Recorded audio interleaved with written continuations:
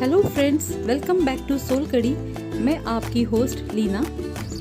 आज हम बनाने जा रहे हैं एक बहुत ही मज़ेदार हेल्दी न्यूट्रिशियस स्नैक मैं अपने बच्चों के लिए हमेशा कुछ ना कुछ नई रेसिपीज़ ट्राई करती रहती हूँ। उनमें से ये एक रेसिपी है। और जब बच्चों के लिए हम कुछ बनाते हैं तो हमें बहुत ही सोच कर सारी रेसिपीज़ बनानी पड़ती है। जो डिलीशियस भी हो हेल्दी भी हो और न्यूट्रिशियस भी। और इस डिश को आप अपने बच्चों के टिफ़िन में भी दे सकते हो।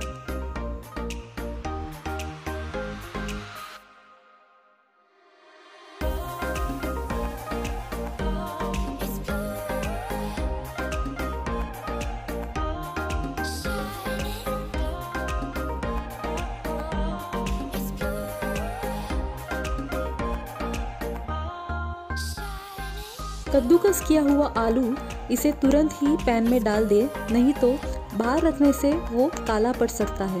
अगर आप थोड़ी देर पहले प्रिपरेशन कर रहे हो तो कद्दूकस किया हुआ आलू थोड़ा पानी में रखिए और फिर बाद में पानी पूरी तरह से निकाल कर इसमें डाल दीजिएगा।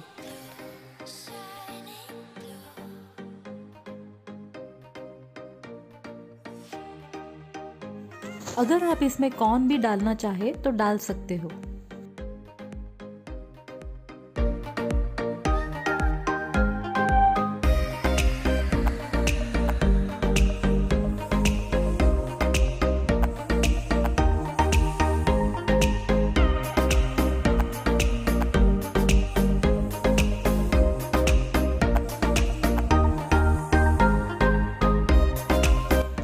सब्जियों को सिर्फ़ दो तीन मिनट के लिए अच्छी तरह मिक्स करके पका लीजिए।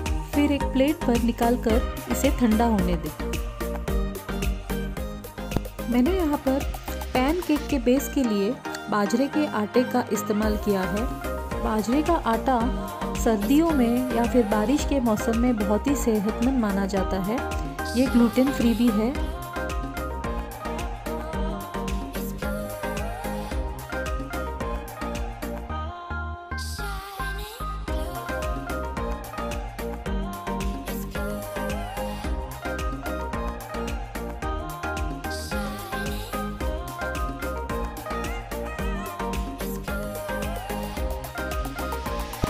इसे थोड़ा थोड़ा पानी डालकर मिक्स कर लीजिए।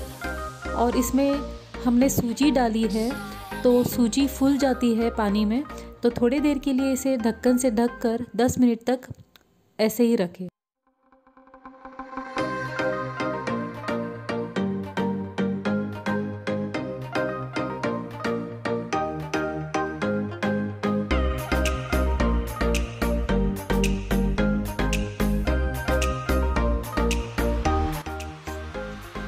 इस तरीके से छोटे छोटे पैनकेक्स बनाने हैं और गैस का फ्लेम हमें मीडियम, लोअर रखना है।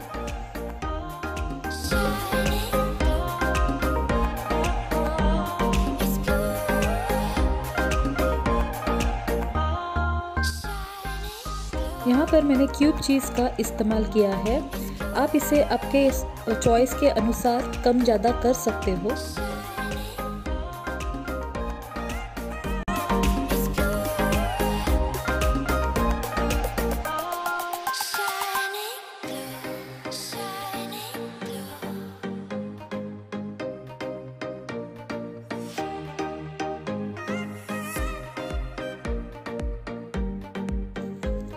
हेल्दी न्यूट्रिशियस चीज़ी बाजरा पैनकेक्स रेडी है।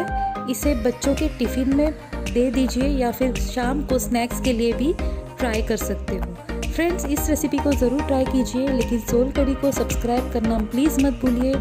रेसिपी पसंद आए तो एक लाइक तो ज़रूर बनता है। प्लीज़ लाइक कीजिए और बेल बटन प्रेस कीजिए, जिससे आपको मेरे नई रेसिपीज़ के नोटिफिकेशंस मिलते रहेंगे। Thank you bye